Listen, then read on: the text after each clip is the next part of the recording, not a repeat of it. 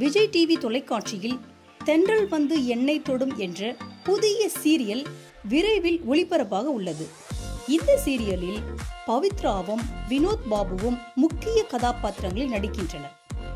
ஆனால் அண்மையில் வெளியான இந்த சீரியலின் புதிய ப்ரமோ சர்ச்சையில் சிக்கியிருக்கிறது.